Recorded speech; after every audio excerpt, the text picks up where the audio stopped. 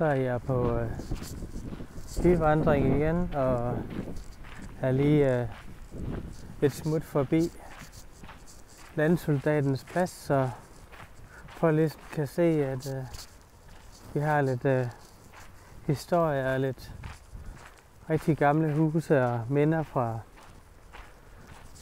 i gamle dage. Jeg Håber alle sammen har det godt forresten derude. Det er virkelig et vidunderligt hver i dag, og øh, smuk, smuk natur, som vi har her i baggrunden. Den smukke, en af de smukke byporte, der er her. Der er en til gående, og lidt længere hen ad vejen er der til biler.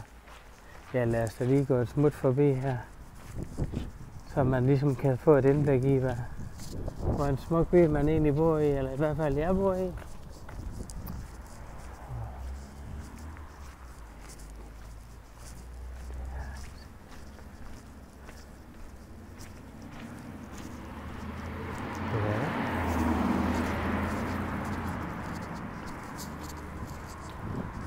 Så er jeg på vej hen på landsoldatens plads, hvor der er et minde fra sejren over svenskerne i 1849. Og der er simpelthen en statue. Den eneste, eneste statue, som er, er til den menige soldat. Det er helt klart et, øh, et besøg værd. Så øh,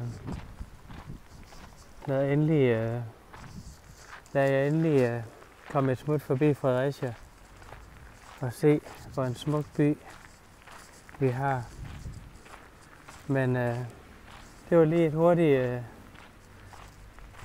hvad er det, minde fra Fredericia, og øh, hvis der er, der er nogen, der synes om min video, eller håber lidt på, at der er nogen, der kommer til at synes om min video, så må I i hvert fald have en, øh, så må I gerne lige give mig et øh, like, og jeg tænker, at jeg vil prøve så vidt muligt at lægge nogle videoer op.